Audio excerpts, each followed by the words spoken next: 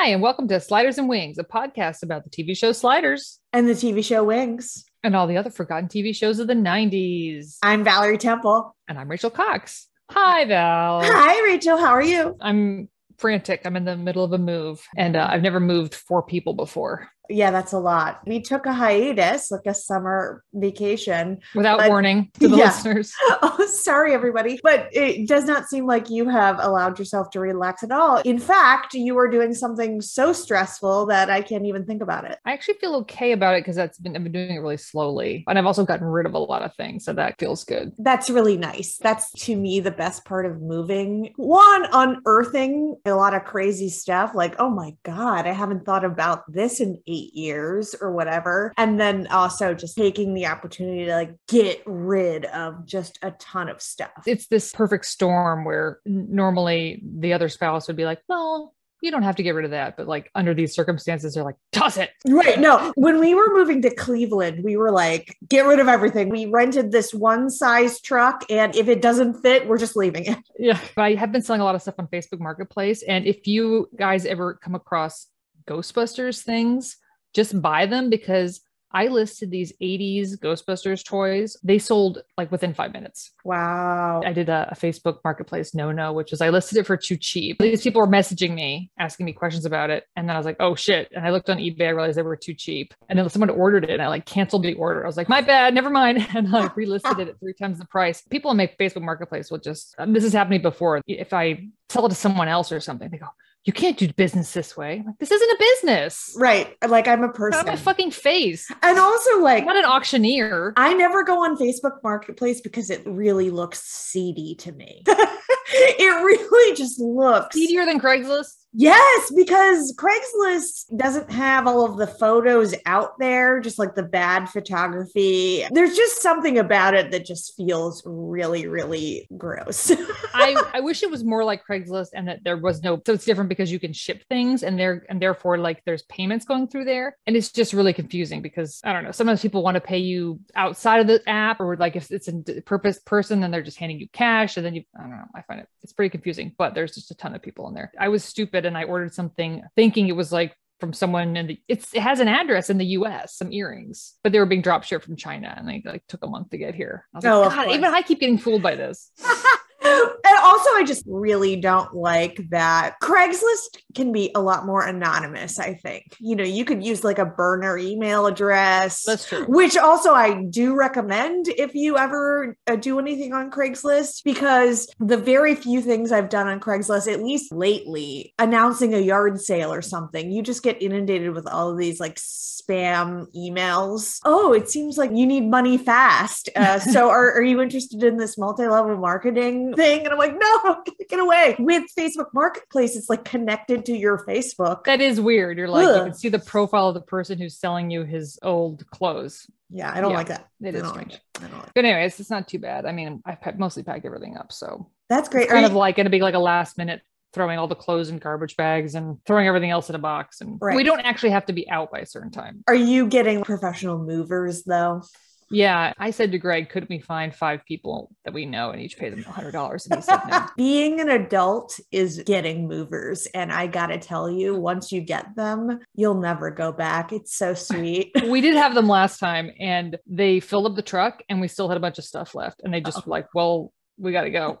oh, God. we did do like a last minute scramble by like shoving stuff in cars and trying to get the rest of the stuff to the house. The sweetest move we ever had because of movers was when we were moving out of a Trinity house in Mhm, I Philly. remember You've got the really tight, spirally staircases. And we were like, yeah, this is what the money's for. You get to figure out how to get this down these stairs because I don't even know how we got them up there. Good luck to there you. was that one very um funny scene from Friends where they're trying to get the couch around. It's like pivot, Pivot. Yeah. and they end up having to cut it in half. I think about that. it is really, really funny. And that is one thing that Friends did okay. It was their version of the Seinfeld parking garage episode where it's Yeah. like all in the stairwell. The show we are discussing this week is Studs. Glad to have you here. Welcome to Studs on Mark DeCarlo. So darn glad you can join us. We have three beautiful young ladies here who, who, who, who needed us, who wanted us to set them up on blind dates with two happening studs. Describe your ultimate guy for me. My ultimate guy, he has to be good looking, something like Mario Van Peebles, and be real sexy and passionate like Steven Seagal. That's right, Studs. Studs premiered on March 11th, 1991 as a mid-season series and it did well enough in its run to be renewed for a full season. Aired for two more full Wait, what year? 1991. The hair is so it's a, a lot of waterfall. It's very, very early 90s, just everything about it. The funniest, and this is mainly what I have to say about studs, is that my memory of catching it late at night. I must have been staying up late on a weekend and it's on super late, like 11, and catching it and just thinking like it was the most sexy, risque, naughty thing I could be watching. And then watching it now, it, it is so fucking quaint. It is adorable. It's It so might as well be. Little House on the Prairie. So, so like the idea of it is it's love connection for the 90s. It's a dating show And where is this the same format as Love Connection Oh, was? completely. Love Connection actually was, I think one guy goes out with three girls or something, or like one girl goes out with three guys. That's Oh, not the one where the person's that's mystery date where they're behind the green. that's the dating game. The dating game. Okay, sorry. That's the dating game. And the dating game was people trying to decide who to go out on a date with whereas love connection the people have already have gone out on this date and the show is basically going over the events and seeing who was a match Six dates per show. That's so many That's- dates. that's a lot for studs. It's two guys and three girls. So each guy goes out with everyone goes out with everyone. Everyone goes out with everyone except like the two guys. Even though one of the episodes that we did watch, the two guys uh, were roommates slash best friends. yeah, I wondered if they always knew each other or not. I don't think so, but it would make more sense because one of the rounds is trying to guess. They say a statement like, Who would be most likely to cry during a romantic movie? And the guys have to guess who the girls would pick as doing that. Mhm. And if you knew the guy, that would help. If it's just a guy that you have no connection with, it's basically like you're answering for yourself. It's like, well, I wouldn't do that, you know? So I watched, as you know, like two minutes of another one, and it was baseball themed, and the guys were wearing baseball jerseys, and the host did this goofy intro that was all baseball themed. But he said that one of the guys is from Atlanta and one of the guys is from Minneapolis. These are just guys they'd picked off the street, and I was like, wait, do all the people in each show live in the same city? I don't know. And I assume they're just all in Los Angeles. that's what I would assume. It doesn't really seem like they care. It's not like The Bachelor where they're like, you're going to find love. It's just fun. The format of the game show is pointless. Right. because it is truly a Harry Potter Quidditch type of thing where the third round, whoever Don't get me the- started on Quidditch. there is a spoiler thing that the preceding two round, two or three rounds before it don't matter at all because the third round is what decides everything. I mean, I don't really pay attention to the game part. Are There are no Right. points, are there? well, they earn hearts. Oh, hearts. You remember okay. those? Okay, yes. Now it sounds familiar. This is the 90s version of the love connection. So they've all gone on a, on these dates with each other and then the production team seems to have interviewed the girls and gotten quotes from them. Okay, now the guys have to guess who said what about them. And if they guess who said what about them, they earn a heart that they stick to Yes. themselves. It's supposed to be that whoever has the most hearts wins, but ends up being not the case because the third round is the girls say who they pick as their favorite and then the guys say who they pick as their favorite. And if they match they get to go on another date. But if the guy with less hearts than the other guy gets matched if they both match they both match they both win. The gameplay is kind of dumb. When I was thinking about how this compares to The Bachelor or Bachelorette, and in The Bachelor Bachelorette, it's just all one sided. It's like a bunch of people of one gender, and then there's the one person that they're all vying for their affection. And it's like none of the people that are competing even care if they like that person because they're all just competing for that person to like them. But what I kind of liked about the studs format is that they both have to separately, independently say that they prefer that person to like move forward or go on a date. and also you're allowed to not pick anybody Yes. So at the end of the game, the girls kind of go down the row and they're like, who do you pick? And you can say neither, which Yeah. is like kind of harsh. and I think the show was also unique in that it was a lot of women objectifying men, oh yeah. probably more so than the men objectifying the women. Even though there's more women than men, it seems like the vibe is that the women have the upper hand somehow. It definitely does seem like they have the upper hand, especially since they are the ones making the comments. Mhm. And some of the comments are pretty rude. You know, like Yeah. they're calling guys bland and they were dull. They're, they're, they're like kind of slamming them sometimes. So the girls get to have fun in that way. They're like, yeah, that that's what I said. You were you were dull. Sorry. I love They it make fun of their haircuts. there's just a lot of innuendo or like sexy comments, but it seems so tame. They're not actually having sex. It's just like implications or hints or Right. innuendo. Yeah. But the audience seems so horned up well, they've just watched 10 episodes of studs being filmed. Right. uh, real worked up. because each comment is read, and after each comment, they're like, "Ah!" you watch the show for the audience. the audience is just making it worthwhile because if you took away the audience, it's just a lot of awkward people. I If you the audience, most shows are terrible. one thing that struck me about the show was this is a reality show kind of like a proto level reality show and these people they have not grown up with reality shows so they don't really seem to know There's how no to artifice. They're Yeah, just they- like, uh, I don't know. I was just asked to be here and I'm um here. right so like, Like they, I'm not trying to get famous on social media or segue this into anything else. right they're not trying to play to the camera they are just being very genuine they're not trying for a soundbite or like something really written sounding it seems like the host has to do a lot of work Like at what point was it around like the early 2000s when Survivor took off and changed everything? Like it just seems like these people are so normal looking. Yeah Like this type of person with this kind of level of attractiveness would not be on this type of show. they wouldn't cast people like this anymore. It's not that they're unattractive, it's a very attainable level of, of Yeah. attractiveness. They just seem very A normal. Cleveland people. 10. Yeah, that's right. That's right, baby. they be blowing people out of the water out here. But I mean, to just look at these people and be like, you're on TV. They chose you to be because like none of them seem to have that good of personalities. They're not witty. They just kind of seem sweet and there. Did I ever tell you that my sister made it to the last round for one of the real worlds? No way. That's I can't remember which crazy. She was like a senior in college and she went to like uh, an audition that they had and she, she made it to like two or three rounds. She can correct me. Yeah. that is incredible. I mean, that was a dream of I think everyone. I mean, that's age. embarrassing to say. That was my dream. I mean, I, I would say this and I would say this. And oh man, I would say that. And it'd be so great. I wanted to be on the real world. It just seemed so cool. The real world is also seems kind of quaint. You know, you're like, Oh yeah. oh wow, these are just regular people. They're not trying to be personalities.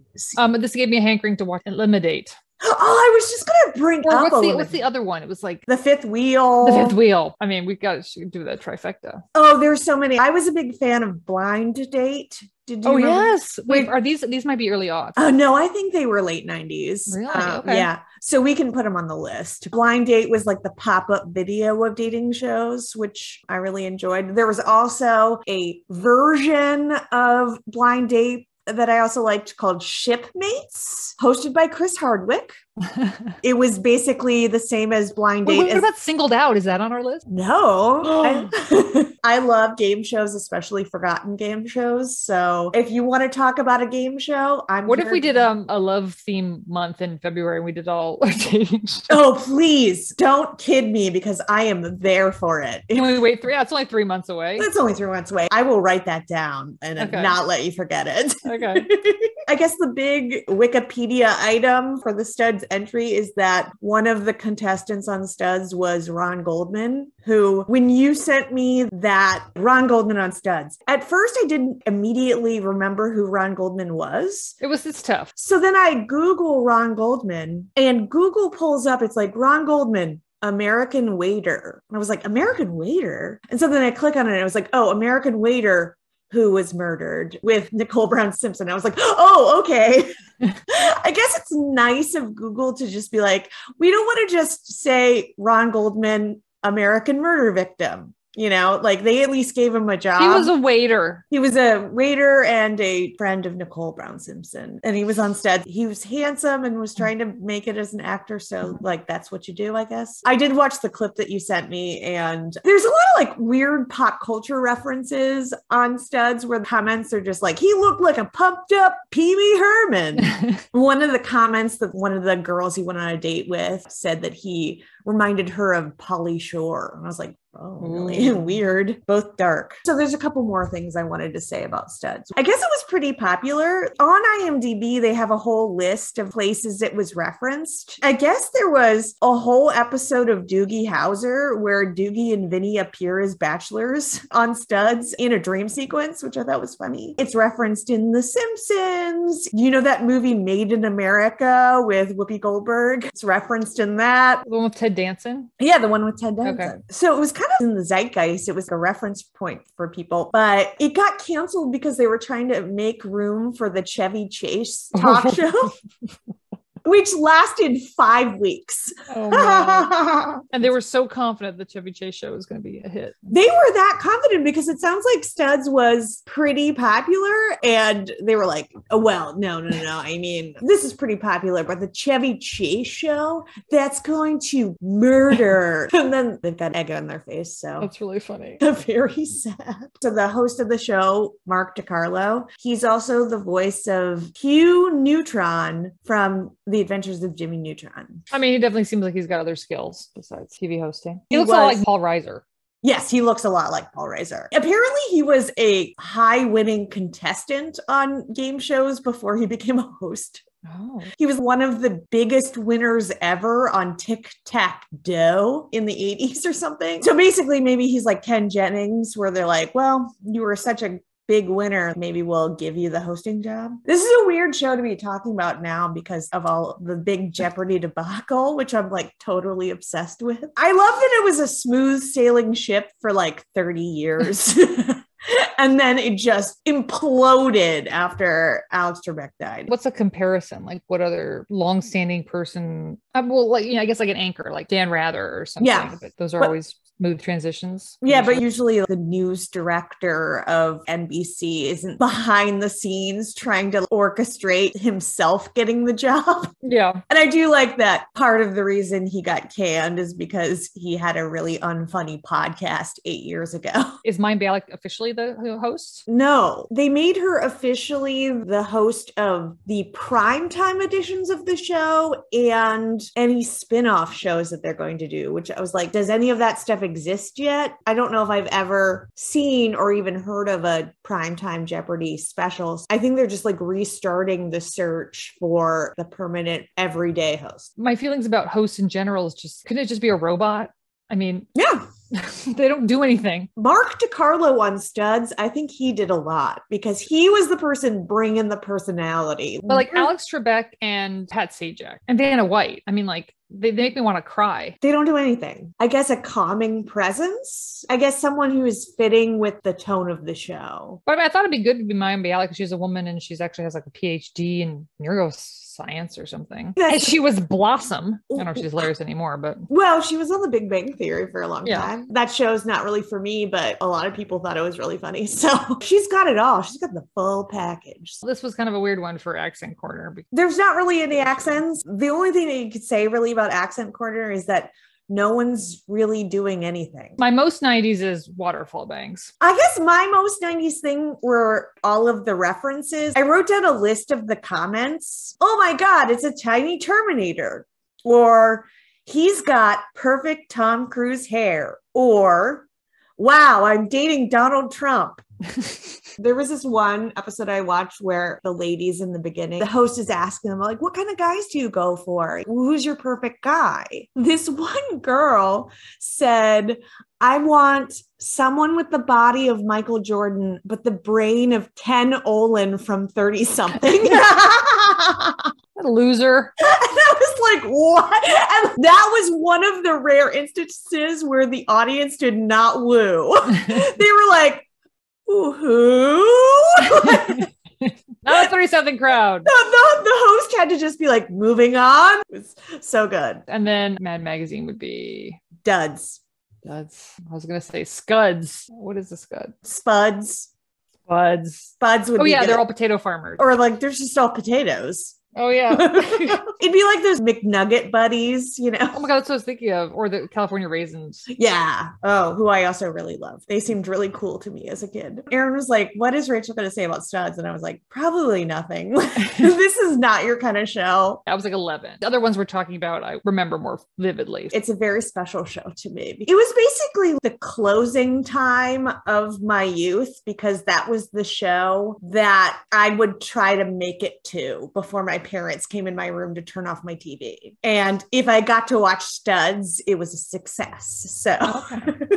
That's an important memory. It was, yeah. So it's very special to me, but it was very wild watching it back because I do also remember it being super saucy, and this really wasn't. Maybe an 11 year old now would think it was saucy. I don't, I still don't think so. Mm, that's a good question. Yeah, Oscar started to really like he can tell when we're talking about something that's of an adult nature. And he was like, What are you saying? What's what's going on? What are you talking about? Tell me, tell me. And sometimes I, I do want to tell him, but I'm like, I can't even explain whatever this is to you. It's just you don't understand any of the references. It's very adorable because I remember feeling that way when you're just like everything is just so enticing. You want to know. talk- we're talking about mortgages, Oscar. Tell me, tell me. Anything left out? when a parent says they refuse to tell you, it just makes it worse. There's no way to win for anybody. The parent can't get the kid to drop it, and the kid is not getting what they want. They think they're being let in on a secret or something, but Mhm. it really is deadly boring. Now we can move on to watch It watch it. I don't know if you started watching yet. The Only Murders in the Building. Not yet. Not yet. Okay. I heard it was good. it's a real grab bag. I mean, it's like Steve Martin and Martin Short, and then Selena Gomez. Yeah. it's about it's about podcasts. No, is it? well, the three characters are brought together by their love of true crime podcasts. So there's okay. that's the kind of theme where they kind of try to do their own. They're whatever that's happened murderinos. in their building. Yeah, they kind of are murderinos. So it's Oh. it's like old people, young people, podcasts, but also a lot of old New Yorkers I like old New Yorkers. living in a really old pre-war building. oh, that's cool. Font is the New Yorker font, which I mean, part of me was like, is the New Yorker Sanctioning this? producing this? I wouldn't be surprised, actually. I saw a clip of it when I discovered that Selena Gomez was involved, and she seems to be doing her best, but there's some jokes where it's like, what does my face say? And I was like, I don't know. You're you have no expression. Greg popped in while I was watching it and he goes, Is she trying to act? And I was on a Reddit board and I kind of made a joke about her acting not being good. And people got mad. They're like, She is a good actress. I've seen her in this. And she's good. This is the, the way she's playing it. Haven't you ever seen Search Party? And I, was like, I have seen Search Party. I do not think you can co- compare Selena Gomez to Alia Shawkat as an actress. Although I guess they're both child actresses. So some people progress and some people don't. So so far, I would say I like it. They're releasing it in batches or something. So like, Oh, the- okay. I watched the first two or three, and then the next one's not available till September seventh. So probably by the time that one comes up, you will have seen the others. Probably because I was busy watching The Chair. It's a Netflix show starring Sandra Oh, and it's about a chair of an English department at a East Coast, vaguely Ivy League school. It addresses cancel culture. Is it like the Nikole Hannah-Jones thing? What's the Nikole Hannah-Jones thing? A famous person being denied tenure, and then everyone being mad and saying it's not because of her qualifications, it's because of the things she said on Twitter. There's a lot of stuff going on. There's cancel culture stuff, but then there's also younger professors who are more with the students. And there's these old Mhm. guard who have really low enrollment, but have been doing the same things the same way for 40 years. And it's very funny. David Duchovny is in a couple episodes. Hmm. Yeah. Well, so this sounds right up my alley, but I got rid of Netflix. I mean, it's not going anywhere, right? No. Maybe I'll take a few months break from Netflix and I'll pop back up and I'll just be like in hog heaven. Look at all those things I missed. Right. And You'll blast through all of that in like four days and then you can cancel it again. The show that I love so so much on Netflix that I don't think is coming back is Mindhunter. I love know. Mindhunter. I loved Mindhunter too. I love Jonathan Groff. I loved Yeah. him as a little puppy face. That show was great. Nicole texted me the other day that said our man Evan Peters is at it again in American Horror Story. Again. yes. Back, back, back, back, back again. We probably should watch that season because Macaulay Culkin's on it. Okay, so like it just started, right? We, I mean, we could just Yeah, we could it's on Hulu. Okay. can catch it. I have not watched an No, episode of American Horror American Story Horror Story since in years. Since Coven. Coven was the. I, I saw Coven, and now I'm not sure. There's been so I many. think I saw Freak Show. No, I saw Freak Show. They're all a blur. I don't know. Yeah. I definitely missed a few. I didn't see the Roanoke one. Coven was a season that was specifically designed to attract people like us, witchy girls who like Stevie Nicks, you know. So I was like, I'm there for it. And I still had to force myself to finish the season because I just was grossed out by a lot of it. And and it's also Ryan Murphy, and I hate the way he writes, or like I hate the way his shows progress. Well, you're not as bad as me because I watched both seasons of Scream Queens. Oh my god. But I mean, I I think that's just Scream Queens is a perfect example of something that I, as I'm watching, I'm like, this is horrible. Yeah. But I could not get enough of it. Like it was just a, like a true guilty pleasure, I guess. That's why I hate his shows because they seem like they should be good or like the premises are really great. You're like, oh my God, this is going to be, you've got all the elements. And then I get so mad because it's just so Well, it's pulp, shitty. Yeah, right? it's so shitty. And the execution and the writing is so bad. It just makes me upset that he's just ruined something that could have been good. Wait, uh, yeah, I think that I've watched this entire show since we were on hiatus. White Lotus. Yes, I loved it. I loved it. oh my God.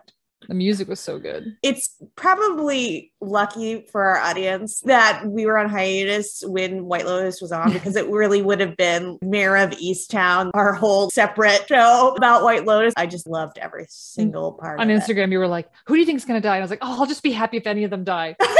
Which I love. I'll be happy no matter who dies." I was very happy with the way I thought it was perfect, but I was sad about who died because I love I love Yeah. that character so much. I mean, that part of character. my enjoyment of the show was that I was on the White Lotus Reddit page and people were just so passionate having discussions about you know the, this hospitality industry uh you know treatment of native hawaiians and you know hawaiian history and male versus female characters in the show power dynamics like people were just feeling very strongly about it white privilege. my absolute favorite favorite thing about the show is that i felt like it's like a perfect snapshot of where we are in the culture wars that was not ham-fisted in any way. You could just imagine any other show. They would be so hyper concerned about appearing on the right side of history. I was really into the daughter and her friend because I feel like in any other show, they would be caricatures and they would just be like, oh my God. the modern zeitgeist is them. Like their opinions are the main force behind like Twitter cancel culture. In other hands, I could have seen those perspectives being the dominant Yes. perspective by the show, but I felt like it was so perfect the way that they spoke and then the parents spoke and they all made great points. Yes, they all made great points and they were the same level of villainous. The show kind of makes fun of everybody in a way, which was what was brilliant about Yeah. it. Except for maybe the the lady who works at the spa where you're just like, I just feel bad for you. Jerked around by Jennifer Coolidge, but there's no one really on the show that is clean hands and they have to win because they're so great. Everyone's kind of bad, you know. That's great. Yeah. Someone on Reddit posted a chart and it was like chaotic neutral. It's the chart that they did for D&D. Yeah. Chaotic evil, chaotic neutral, chaotic good. What are the other things besides chaotic? Well, whatever they did for the characters. So there's two weaknesses in the show, in my opinion. It was uh, two characters that I thought were, for whatever reason, like I didn't totally understand their motivation. Like the character of Rachel, who marries this guy, and then suddenly she's like, "Oh, but I don't want to stop working and be a rich man's wife. I want to have my own identity." It's like you never discussed this. It's like she just woke up and was like, "Oh, who did I marry? What's going on?" She's I supposed to be this girl who's been working hard in the city. It's someone who's been freelancing in New York for some amount of years would have like a little more guile. I don't know. To me, she kind of seemed like worst case scenario Rory Gilmore. I've never seen the Oh, I can't believe you haven't. I don't know if I could recommend it now in this day and age, but Rory Gilmore, when they did the new season where it's like catching up with them 10 years later, she's a Mhm. freelancer in New York. She's a writer. And it just sounds like a horrible grind. It's not fun. And I can kind of see being that girl and being swept away and being like, this is fun. I don't usually get to have these great meals. I don't get to go on these trips. She's on this sort of train barreling towards the wedding. And then when she finally gets to the vacation, the honeymoon, that's when her brain gets to rest a little. So that's how I kind of saw her character. This is her finally realizing, oh, what have I done? I think it was also that actress just being like unblinking, confused, hyper confused all the time. Like she's just woken up. I love that scene in the first or second episode where Rachel goes down to the pool for the first time and she's wearing kind of an idiotic outfit, like really stupid. And the two teen girls are making fun of her. And then she takes off her outfit and she's just got this hot bod. And the two teen girls are like, oh, wow. that was what also struck me as strange about her. She just starts striking up a conversation with these teen girls that are clearly bitches and then Yeah. they're rude to her and she's hurt by that. I'm like, of course they're bitches. Look at their faces. I think that is deliberate on the part of the writing. It shows you that she is a little bit naive and doesn't automatically know if someone's a good guy or a bad guy. Her saying hi to those girls can help you understand why she did not know that her now husband kind of sucked. Mhm. And like she should have known that he sucked a long time ago. He is not hiding the fact that he sucks. Yeah, and a lot of the conversations on Reddit were like, it's just fascinating, like the passionate arguments. Like some people just saying, what's his name? Shane. He is annoying. He's aggressive. He's like gross. Da, da. But like he's technically done nothing wrong. Mhm. Right. And then people would just get so mad. Like, what do you mean? Some people that were convinced that Shane was actually making veiled physical threats to her. And Oh, no. she stayed with him. And then everyone's like, what are you talking about? Like downvote, downvote. Yeah. yeah, no, no, no, no, no. no, no, I, I didn't think Th- these are just people who don't like him so much. There has to be a real the- reason for me to But, hate but him. But that character is so great because he's disgusting, but within the realm of normalcy. Oh, Like, it's he's so normal. Like he's Yeah. not over the top. Like what Armand did to him was wrong, and if he had just apologized to begin with, and let it go. yeah, but he- let it but- go. But Armand is the one that pushed it. Um, oh, Armand. Also, just like shout out to Steve Zahn, my honey, Steve Zahn. I love him and I've always loved him. and maybe So, I want to go back and watch Reality Bites. I gotta say, I was not ready to see his, His balls. so you think it was a prosthetic? Probably. Yeah, I mean, like laid on top. but it was just like so shocking. What were you prepared to see poop coming out of an actor's butt in profile? Oh my god, I forgot about that. Oh my god. Greg only watched the first episode with me and then the last episode. Oh my god. That must have been a wild ride. Yeah. Apparently they're going to do another season like at a different hotel. Yeah, with uh, totally different people, I think. Mhm. I'll watch it. Part of it was just watching Hawaii. And it also had like a succession vibe. Oh yeah, which is coming back next week. which yes, yes, yes. Oh my god. Finally my life can get back to And then, normal. have you heard of the show Nine Perfect Strangers? yes, I haven't started it yet. We watched maybe three minutes of it and it was so bad like laughably bad. When all of the marketing started happening for nine perfect strangers white lotus was still happening was about to have its finale or whatever and it seems like a similar kind of thing. Instead of a resort they're at this wellness retreat these rich people. So it seems like it's a similar type of thing although nine perfect strangers has all these big name people in it. Oscar And- winner Nicole Kidman. Oscar winner Nicole Kidman, Melissa McCarthy, Bobby Kennedy. Luke Evans from The Alienist. If you look at the list of people, you're like, geez, how much did this show cost? And then it's uh, executive produced by David E. Kelley. So it's just like, wow, there's all of these big deal elements. And then we started watching it. I was like, this is like the White Lotus, but so poorly done. Okay, but you need to watch the first three minutes of that Joss Whedon show that I forgot the name of and see if that's better or worse. With the dust, Oh, yeah. the steampunk one. I can't do that. okay, well, I'll have to watch the first three minutes of it. That's funny because Greg missed the White Lotus. And then when I saw Nine Perfect Strangers, I thought, well, maybe Greg will watch this with me because it's similar. the writing, the dialogue, just everything is just so bad that we were just like, nope, turned it right off. Wow.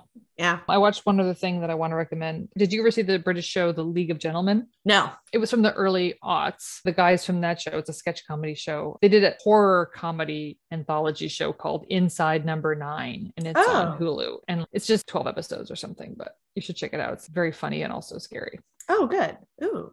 All right. I'll check that out. Next week, we are going to do a request. Yeah, the big news was that we got our first email. This person already gets us because Yeah. he asked us to do a show that was already far up on the list, which was seaQuest DSV. which I keep accidentally calling seaQuest Deep Space Nine. I almost said Stargate CD. Next week is going to be a mess of getting that title wrong, but I'm really excited to do seaQuest. Is it seaQuest Deep Space Velocity? DSV. Ooh, I hope the pilot will tell us. Oh, we'll find out. Yeah, we'll find out. But until then, This has been Sliders and Wings with Val and Rachel. that's right. You can email us like the person who emailed us. You can do it too at slidersandwings at gmail.com. All right. Good night. Good night, Rachel.